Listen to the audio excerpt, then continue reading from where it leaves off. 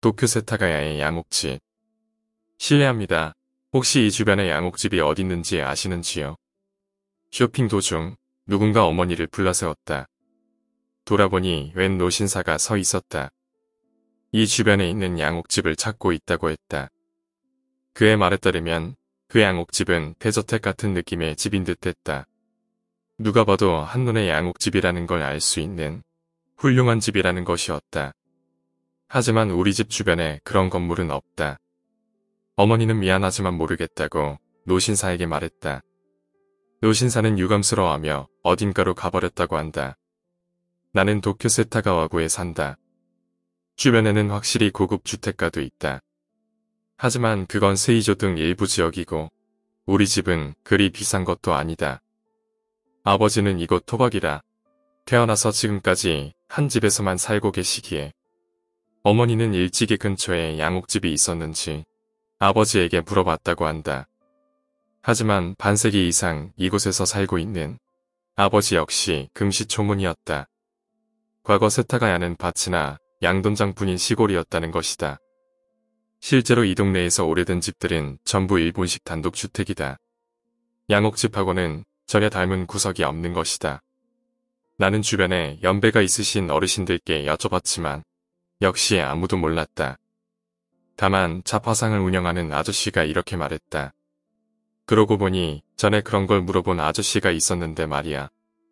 잡화상 아저씨도 양옥집에 관해서는 아는 게 없어서 우리 어머니처럼 모르겠다고 대답했다고 한다. 하지만 그 아저씨는 분명 이 근처인데 라며 고개를 갸웃거렸다는 것이었다. 왠지 그 양옥집이 신경 쓰여서 나는 산책하는 김에 그 건물을 찾아보기로 했다. 하지만 아무리 집 주변을 샅샅이 돌아다녀도 그런 건물을 찾아볼 수가 없었다. 그러던 도중 학교에 갔다 주변에서 하숙을 하는 친구에게 흥미로운 이야기를 들었다. 지난번에 자전거를 타고 산책을 나왔는데 그만 길을 잃었지 뭐냐.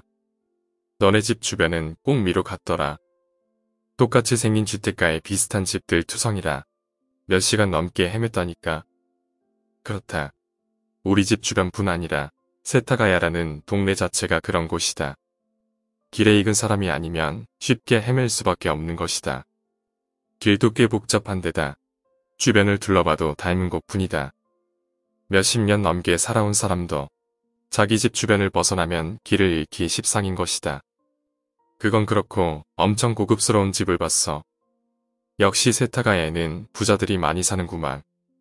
만화에서나 나올 것 같은 양옥집이 있더라고. 그 말을 듣고 나는 깜짝 놀랐다.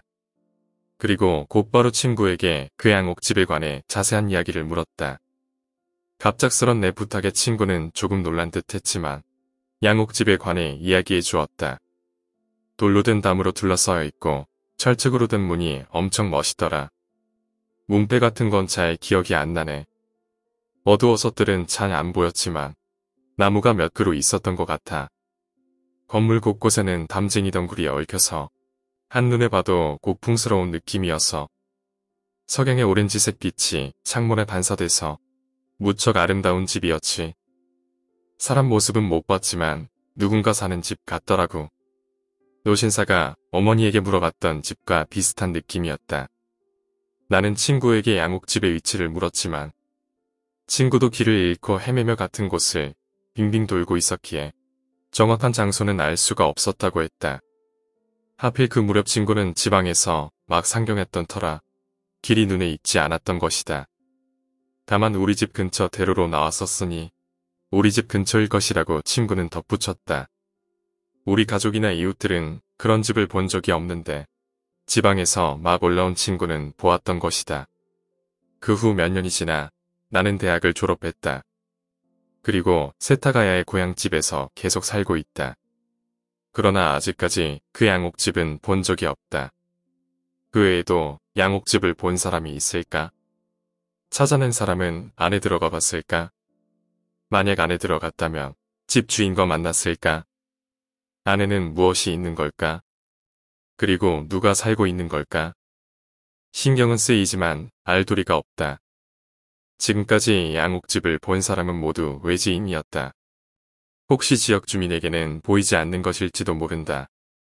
말하고 보니 전혀 있을 것 같지 않는 소리지만 혹여나 당신도 세타가에서 길을 잃은 후 훌륭한 양옥집을 발견한다면 그 집일지도 모르겠네.